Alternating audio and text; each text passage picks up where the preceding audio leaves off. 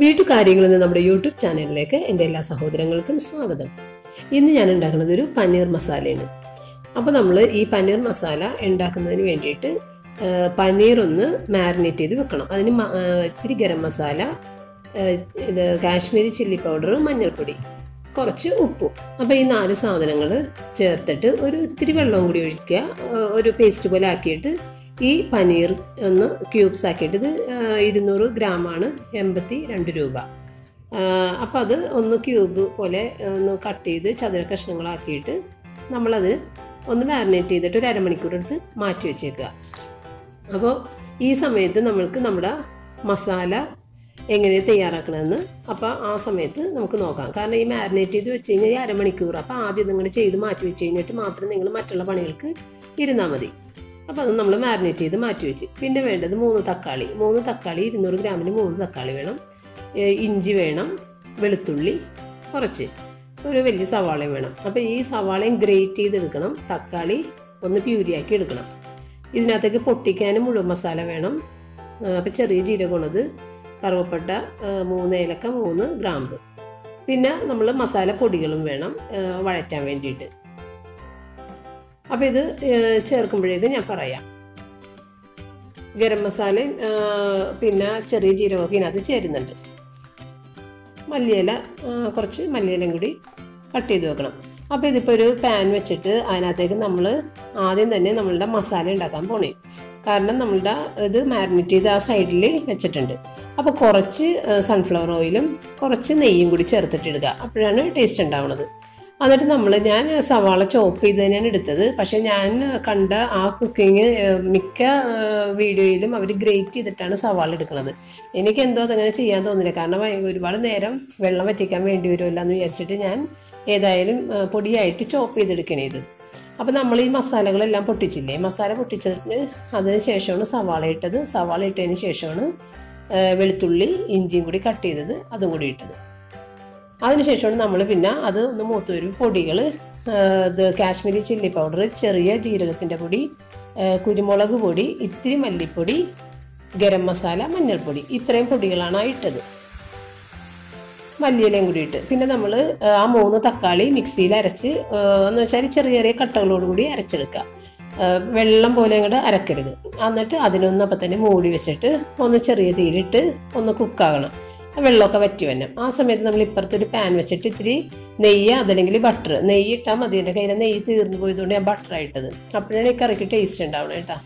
അപ്പോൾ ബട്ടർ ഇട്ടിട്ട് ഈ പനീറും കൂടി ഇതിനകത്ത് ഇട്ടിട്ട് ഒന്ന് ചെറുതായിട്ടൊന്ന് ഫ്രൈ ചെയ്തെടുക്കണം ഒരുപാട് നാടാക്കി കളയരുത്. പുറം വശം ചെറുതായിട്ടൊന്ന് മുരിഞ്ഞ രീതിയിൽ. അപ്പോൾ അതിനെ ഒന്ന് പതിയെ പതിയെ മറിച്ചും തിരിച്ചൊക്കെ ഇട്ടിട്ട് ഒന്ന് മുരിച്ചെടുക്കുക.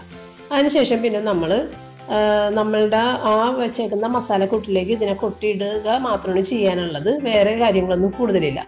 അപ്പോൾ നമ്മളുടെ സബ്സ്ക്രൈബേഴ്സ് ചിലവർ ചോദിക്കുന്നുണ്ട് ചേച്ചി പനീറിന്റെ ഒന്നും കാണിച്ചില്ലല്ലോ. അപ്പോൾ ഞാനും വിചാരിച്ചു പിന്നെ പനീറിന്റെ ഒരു ഒന്ന് രണ്ട് റെസിപ്പികൾ ഇടാമെന്ന് വിചാരിച്ച്. അപ്പോൾ ഞാൻ ഇവിടെ കുറച്ച് പനീറൊക്കെ വാങ്ങി വെച്ചിട്ടുണ്ട്. ഇനിയും ഞാൻ പനീറിന്റെ റെസിപ്പി ഇടുമ്പോൾ കാണിക്കാം. അപ്പോൾ നമ്മൾ തക്കാളിക്കൂട്ടും സവാള അത് ഇങ്ങനെ ഒന്ന് വരണ്ട് വന്നിട്ടുണ്ട്. ആ സമയത്ത് നമ്മൾ ഇതിനെ ഒന്ന് ഫ്രൈ ചെയ്ത് വെച്ചേക്കണല്ലേ? അപ്പോൾ അതിനെ അതിനകത്തേക്ക് ഇടും.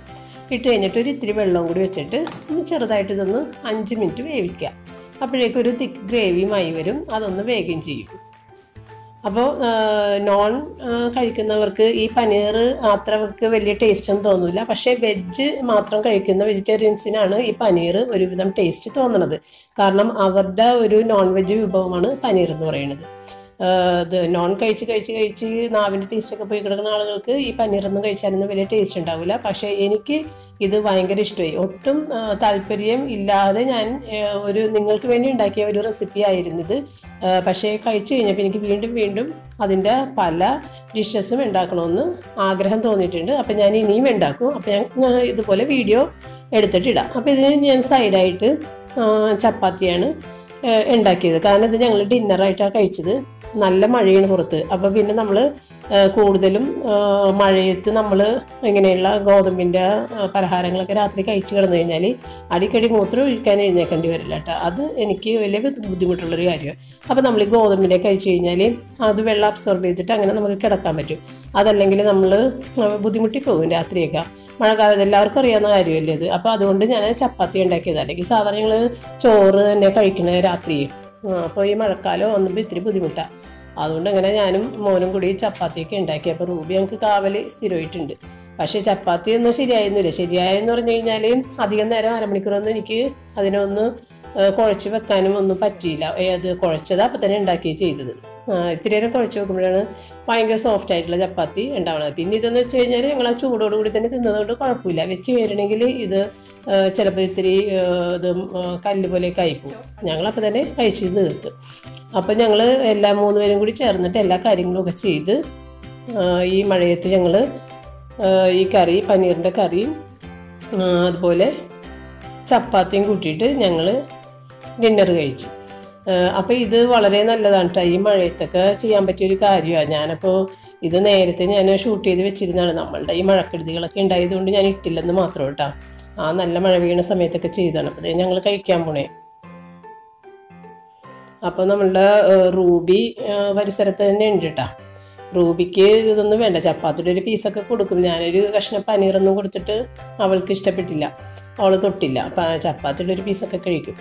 പിന്നെ ചിലവരെന്റെ അടുത്ത് ചോദിക്കുന്നുണ്ടായിരുന്നു ഇത് നോർത്ത് വിഭവങ്ങൾ എന്തെങ്കിലുമൊക്കെ ഉണ്ടാക്ക് ചേച്ചി എന്നൊക്കെ പറഞ്ഞു. അപ്പം ഞാൻ അതും ട്രൈ ചെയ്യണമെന്ന് ഓർത്തിട്ടുണ്ട്. കാരണം എനിക്ക് ഭയങ്കര ഇഷ്ടമാണ് നോർത്ത് ഇന്ത്യൻ വിഭവങ്ങളോട് എനിക്ക് ഭയങ്കര ഇഷ്ടമാണ്. അപ്പം ഞാനതൊക്കെ ട്രൈ ചെയ്യുമ്പോൾ നിങ്ങൾക്ക് ഇതുപോലെ വീഡിയോ കാണിച്ചു തരാം. അപ്പോൾ ഈ പനീറിന്റെ ഈ മസാലക്കറി നല്ലതാട്ടാ. നല്ല ടേസ്റ്റ് ഉണ്ടായിരുന്നു. ഞാൻ ഫസ്റ്റ് ടൈമാണ് ഞാൻ കഴിച്ചത്. പനീർ ഇന്നുവരെ ഞാൻ കഴിച്ചിട്ടില്ല. അപ്പം നിങ്ങളിങ്ങനെ ആവശ്യപ്പെട്ടത് കൊണ്ട് മാത്രം ഞാൻ നിങ്ങൾക്ക് വേണ്ടി ഉണ്ടാക്കി അങ്ങനെ ഞാൻ കഴിച്ച് പനീർ എനിക്ക് ഭയങ്കര ഇഷ്ടമായി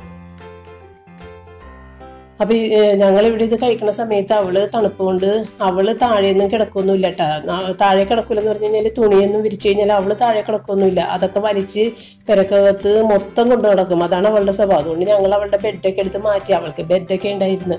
ബെഡെല്ലാം എടുത്ത് മാറ്റി. ബെഡൊക്കെ അവൾ തല കൊണ്ട് പൊക്കിയിട്ട് അതിന്റെ അടി കയറി കിടക്കും.